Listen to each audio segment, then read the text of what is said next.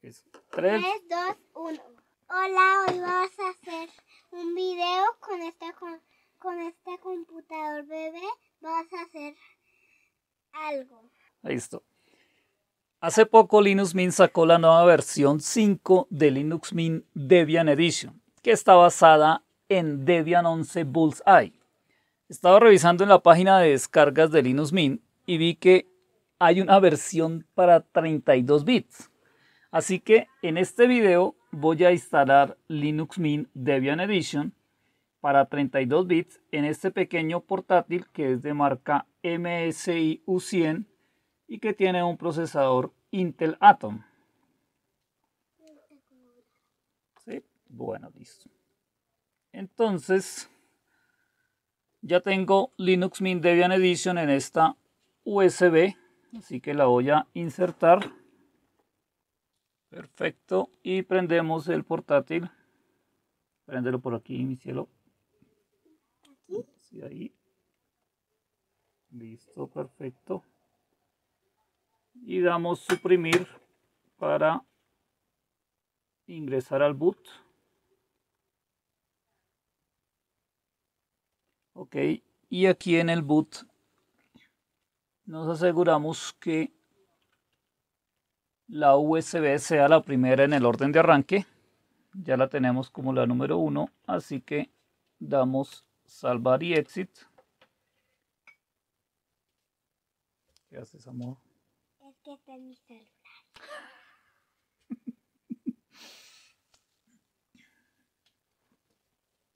ok, entonces este es el menú de bienvenida o el menú de instalación de Linux Mint.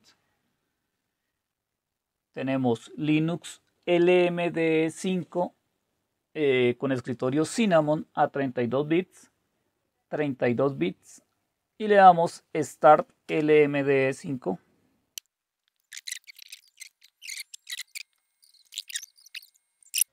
En este momento está cargando la versión en vivo de Linux Mint. Esto debe durar por lo menos unos 4 o 5 minutos.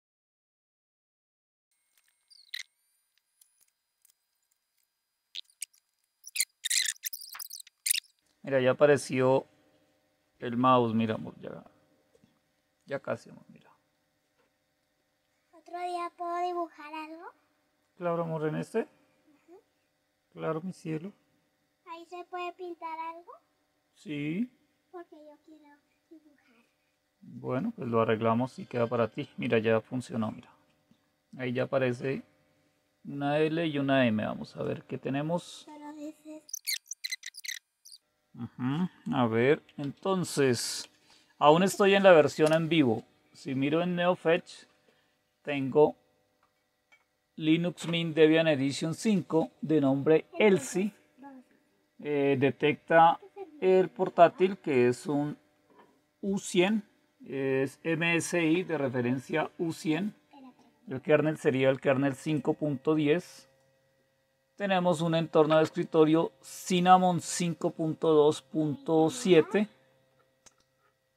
Muy posiblemente sea un escritorio muy pesado para este mini portátil, pero vamos a intentarlo.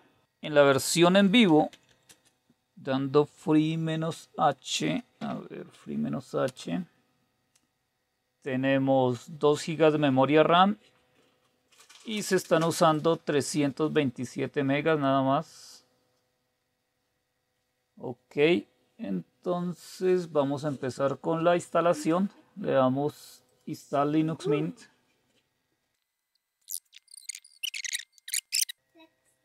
Si miras aquí si lees aquí amor. Let's go.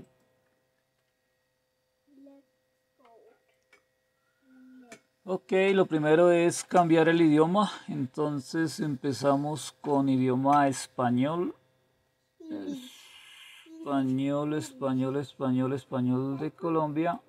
Ok, hay un pequeño problema y es que esta ventana es demasiado grande para la resolución de la pantalla. Una forma de solucionarlo es dando al F7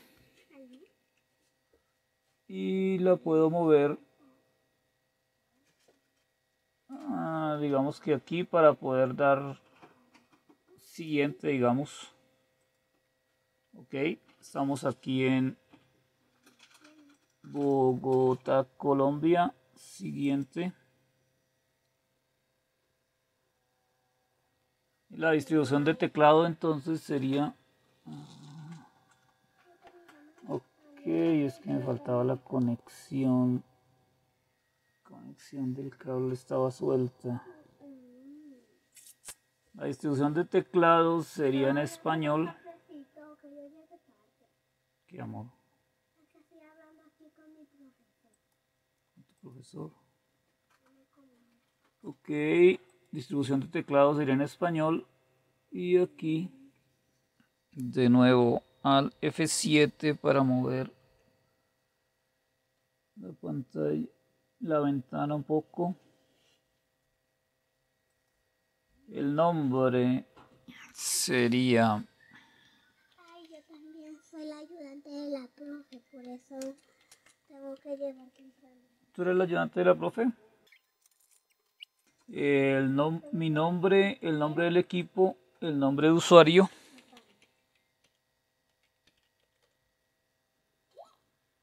Y una contraseña. De nuevo al F7 para mover. Ok, ahí está bien la cuenta de usuario.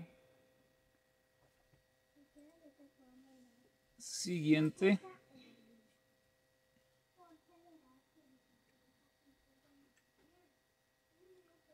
Ahora sigue. Vamos a hacer una instalación automática. Tipo de instalación, instalación automática. Y seleccionamos el disco. El disco SDA, que tenemos un disco de 79 gigas, 80 gigas sería un particionado automático.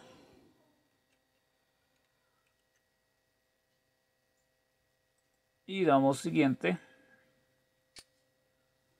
Ok, esta acción va a eliminar obviamente todo lo que hay en el disco duro. ¿Estamos seguros? Decimos que sí.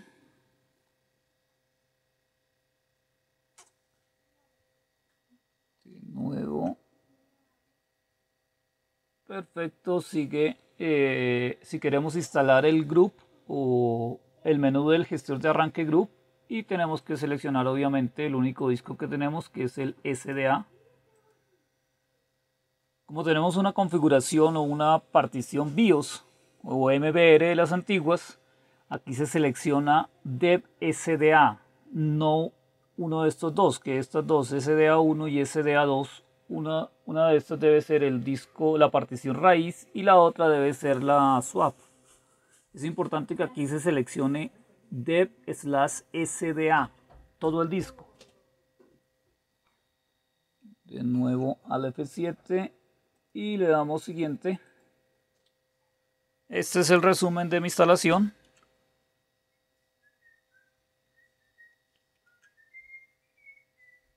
Este es mi resumen con todo lo que vamos a instalar. Eh, idioma español de Colombia, la zona horaria, el teclado, el nombre y todo. Y le damos aquí a instalar.